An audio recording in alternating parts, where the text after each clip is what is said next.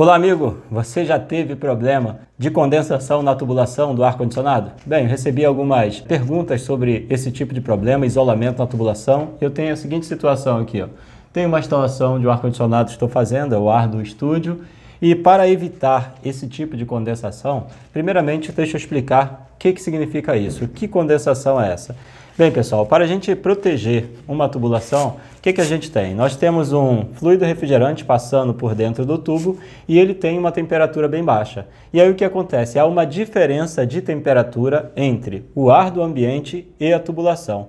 Dessa forma, é provável que haja condensação por causa dessa diferença de temperatura. Quando o ar externo tem o um contato com a tubulação com a temperatura bem mais baixa, o ar, vocês sabem que contém muita umidade, essa umidade acaba condensando e virando a água que muitos falam que a tubulação está suando.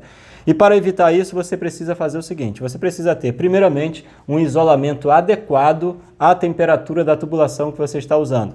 Então, se eu tenho nesse ponto aqui uma tubulação que tem uma temperatura variando aí no ar condicionado de 1 a 5 graus, chega até um pouquinho mais baixo, mas esse isolamento já é o suficiente mas a gente precisa garantir o seguinte, que mesmo que esse isolamento não seja o suficiente, a gente não tenha uma condução para o restante da tubulação, pessoal. Então, por esse motivo, a gente faz o seguinte, nos pontos de junção entre um isolamento e outro, é necessário fazer uma colagem para que não haja um ponto aqui vulnerável para entrada de oxigênio, de ar externo, de umidade. Com isso, você elimina esse ponto vulnerável. Então, tem que ser através da cola. Colando, você vai evitar que esse problema aconteça. Só que acontece se entrar ar por esse ponto, olha só, é sinal de que a condensação vai começar a migrar por dentro do tubo, pessoal, chegando até outros pontos. Então isso aqui causa um problema muito grande, principalmente quando a tubulação é embutida.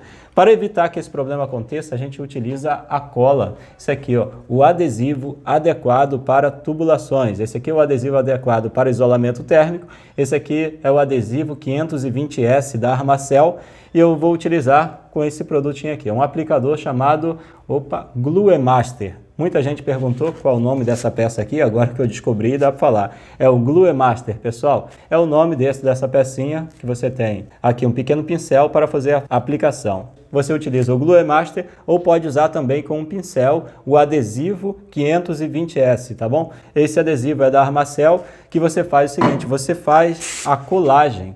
Quando eu colo nesse ponto aqui, eu faço uma colagem, eu evito que a condensação comece a migrar de um isolamento para o outro e assim por diante. Então, dessa forma, você evita que tenha é, o problema em outros pontos do sistema. Se você tiver um problema de condensação por causa de algum ponto vulnerável que esteja entrando umidade na parte do isolamento, ele vai ficar limitado somente a um determinado pedaço de isolamento, onde é possível fazer o reparo facilmente. Agora, quando você não tem nem a parte da colagem com o adesivo na parte interna e nem tem isso aqui, o que acontece? Vai começar a haver a condensação e migrar para o próximo isolamento e depois para o próximo e assim comprometer toda a tubulação. Uma vez que o isolamento já está totalmente encharcado, perdeu a capacidade de isolamento térmico entre o ar externo e a tubulação por onde está passando o fluido refrigerante com a temperatura mais baixa. Então espero que essa dica sirva para você. A todos um abraço e até o próximo vídeo.